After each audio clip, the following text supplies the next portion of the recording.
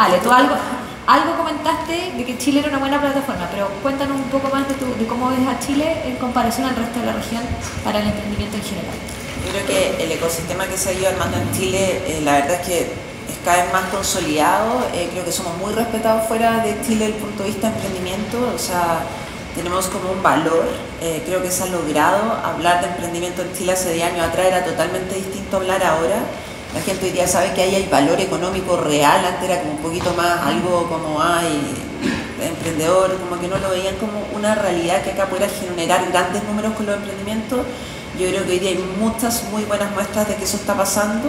Creo que Chile es muy líder en la región desde el punto de vista de emprendimiento y por lo tanto hay una oportunidad gigante, gigante de que tomemos la región, de que lideremos. A mí me ha, me ha dado, y lo estoy conversando con algunas personas, ver una posibilidad de Miami, Madrid, Santiago y armar un triángulo, que tengamos redes y puentes, cosa de que sea como latín, porque somos latinos, que rico hablar en español y no tener que parecer gringo para entonces, que pudiéramos hacer la puerta a Estados Unidos a través de Miami, la puerta a Europa a través de Madrid y Santiago en Latinoamérica.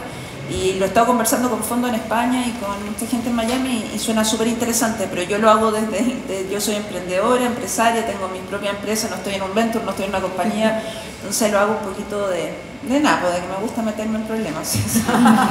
Así que eso y creo que hay oportunidades muy lindas. Por ejemplo, yo creo que ese triángulo es una gran oportunidad y justo estoy un poquito viendo eso.